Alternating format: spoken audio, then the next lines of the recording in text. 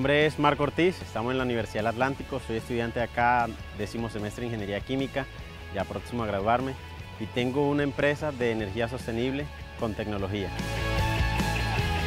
A través de la energía solar podemos lograr independizar y mitigar e incluso generar mucho más energía de lo que requerimos eh, a nivel de toda Colombia.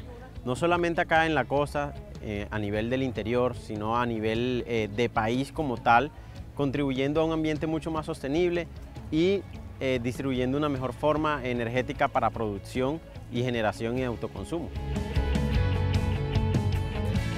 Creamos un software orientado a la sostenibilidad desde el punto de vista energético. Cada energía que consumimos proviene de unas fuentes de energías no renovables.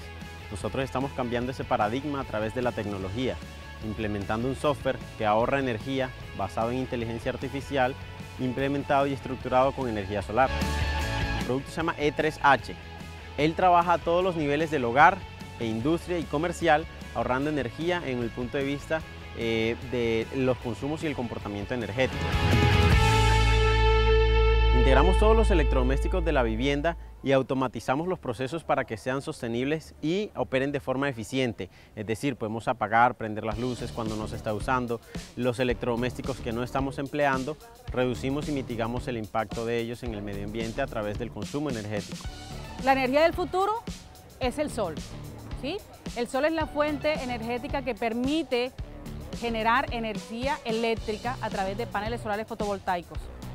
Una herramienta como la creada por Marco Ortiz, estudiante de la Universidad del Atlántico, permite a la sociedad en general controlar los consumos energéticos y al controlar estos consumos se, dejan de emitir eh, gases de efecto invernadero como el CO2 al medio ambiente. Con el Ministerio nosotros trabajamos de la siguiente forma. Nos presentamos en una convocatoria de apps.co en la que participamos en la fase de crecimiento y consolidación y participamos con la plataforma de nosotros y trabajamos y ganamos. Entonces eh, el Ministerio nos apoyó acelerándonos a conseguir mucho más negocios y expandiéndonos a nivel nacional para que la energía y la plataforma pudiese llegar a todas las partes del nivel de Colombia.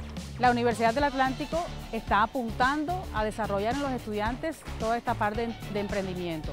Y la iniciativa de Marco es supremamente importante y como ejemplo para el resto de estudiantes de esta universidad.